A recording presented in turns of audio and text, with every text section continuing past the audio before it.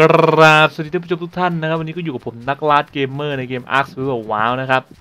ก็วันนี้ก็จะมาพูดคุยกันเกี่ยวกับเรื่องเจ้าสัตว์ตัวใหม่นะครับ ในแพทที่เข้ามาใหม่นี้นะฮะ เป็น V 2 0 2ก็จะเป็นตัวเม่นนี้นะครับ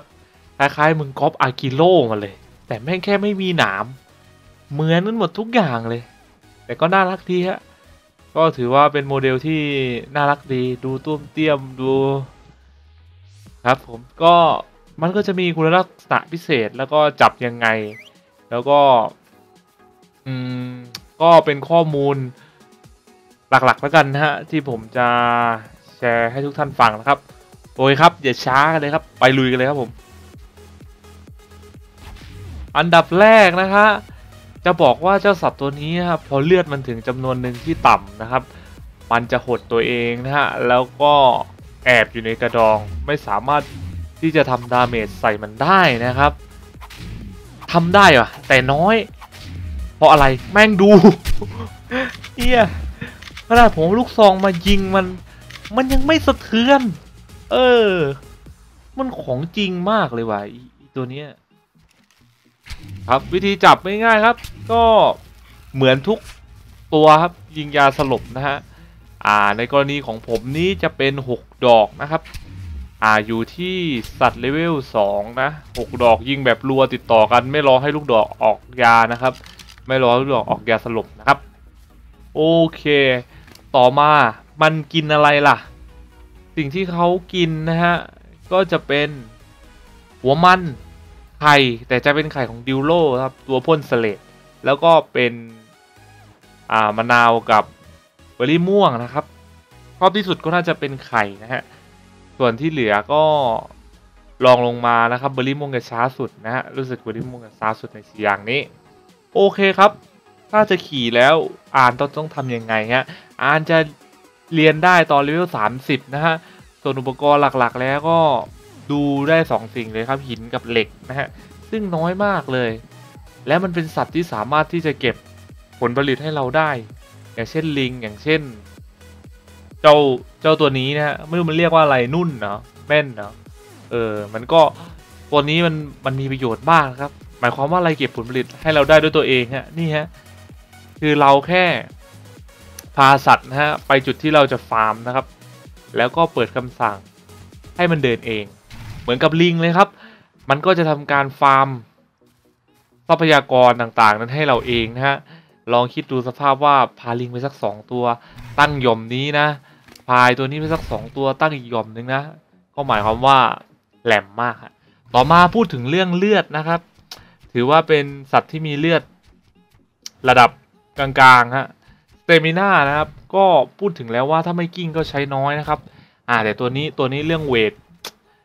รู้สึกว่าจะด้อยไปหน่อย เพราะว่าตัวมันอะเก็บหินแล้วก็ มันก็ต้องใช้ weight ที่สูงกว่านี้ครับในความคิดของผมนะ อ่า ต่อมา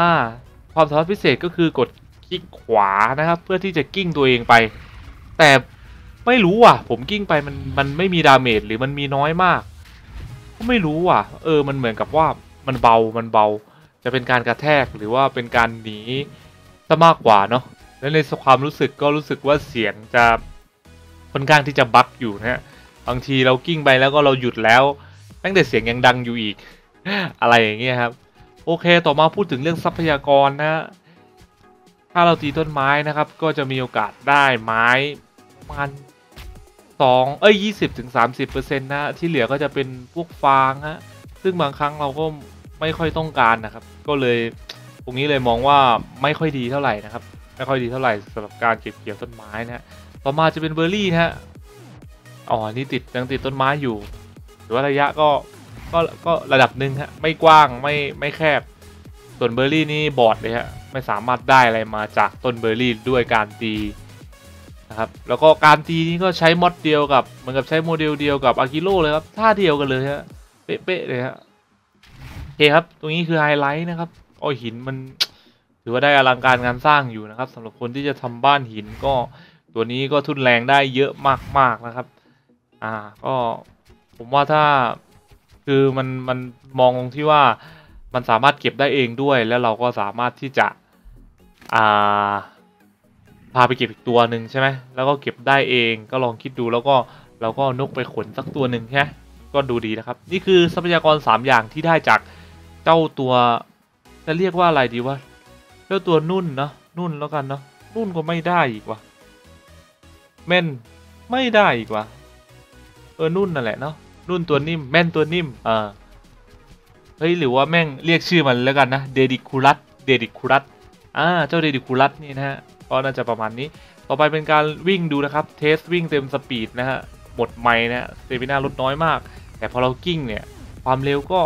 น่าจะต่างจากวิ่งสักจุดสามนะจุดสามสามสิบเปอร์เซ็นต์ฮะแต่ stamina แดกกว่ากันเป็นเท่าตัวเลยครับ เยอะมากๆนะฮะ โอเคต่อมาหลังจากนี้จะเป็น trick และก็เทคนิคนะครับ ก็สัตว์ตัวนี้ครับ มันไม่ได้ส่งผล skill protect สำหรับผม up เลือดไว้ 1,000 นะครับ เพื่อจะได้เห็นผลแตกต่างนะ มันไม่ได้ protect เฉพาะตอนที่มันเป็นแบบสัตว์เขาเรียกว่าอะไรอะไม่ใช่มาเป็นสัตว์เลี้ยงอะเป็นสัตว์ที่อยู่ตามป่าสัตว์ป่ามันก็จะขึ้นโปรเทคตอนเลือดมันเหลือน้อยใช่ไหมครับ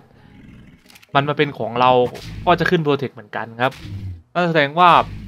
ต่อให้เรามีการบุกบ้านหรือมันโดนสัตว์โดนทีเล็กตีในป่าเนี่ยครับ ก็จะเกิดโปรเทคครับ โอเคเดี๋ยวผมจะตีให้เกิดโปรเทคนะฮะผมการหดตัวผมเรียกว่า protect แล้วกันนะเข้าใจตรงกันนะอ่าทีนี้มันเห็นไหมครับ มันส่งผลเหมือนกันต่อให้เป็นสัตว์ที่เราเลี้ยงแล้ว ในเลือดหนึ่งร้อยเนี่ย ถ้ามันเป็นร้อยเปอร์เซ็นเนี่ย